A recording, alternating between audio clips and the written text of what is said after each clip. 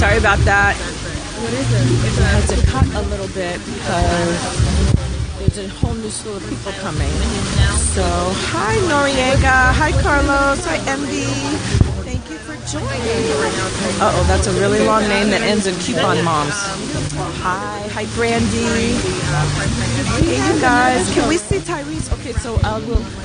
I don't know if it'll be on this scope, but it'll be very soon because he's going to perform soon, okay? I am good, Envy. How are you? Hello, coupon moms. I can't read the beginning. This writing, I wish I could make it bigger. So we are so just chilling right now because the East Coast feed is already finished. So now we're getting ready for the West Coast feed. Two, two crazy coupon moms. Now I see it. Hey, Pastor Mel. Thanks for joining. I'll see you tomorrow morning. Even though I'm out this evening, just sitting and relaxing, I'm going to be there in the morning. Oh my gosh, wasn't the show amazing, Tamika? Such great dialogue. I thought it was so fantastic because the dynamic between between having Rev Run and that perspective on sex, relationship, love, and all of that. And then having Tyrese and Marlon Wayans. Oh my gosh, can I get, how do we feel about Marlon Wayans? Hilarious. I love them two together. Hold on, let me see. I have a couple of the executive producers right here. Everyone, they're saying that they absolutely love the show. And they love the dynamics of, um, of um, Rev Run and Tyrese and the two of them together. What else kind of feedback do you guys have for us? That show hot so many powerful points. See? Did you you tuned on on the East Coast, so West Coast you haven't seen it yet. You are in for a huge, huge treat. It is hilarious and so important. And the spoken word at the end, if anyone saw that spoken word um, uh, woman at the end, she was amazing.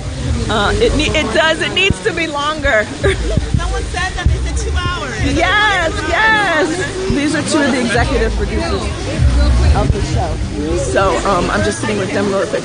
I could have watched it for two hours too, Tamika. I thought it was hilarious. I can't. It's it's going to be my standing date every Saturday night. Now I know they have eight shows that they've done already, and hopefully they'll be brought back for some more. But right now they have the eight shows in the can, and I'm going to be tuning in every week.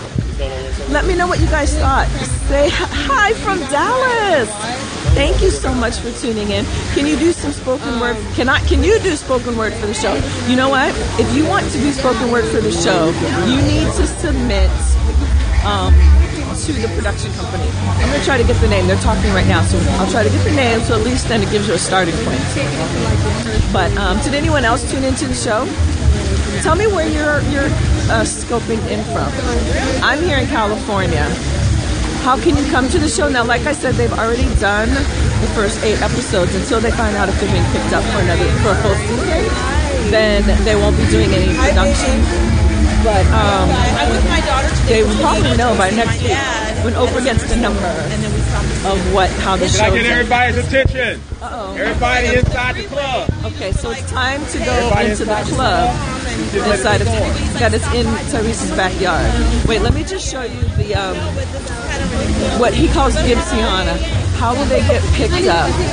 Oh, they will get. Yes, I totally agree. They will get picked up. Um, so wait, let me just show you. In his backyard, his favorite restaurant must be Benihana's, um, but they have his own Benihana's in the backyard. Hold, hold on, let me just show you really quick.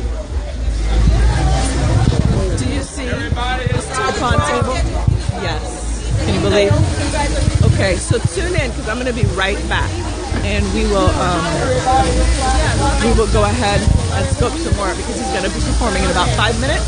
So I'll be back with you guys. Make sure you tune in. Okay.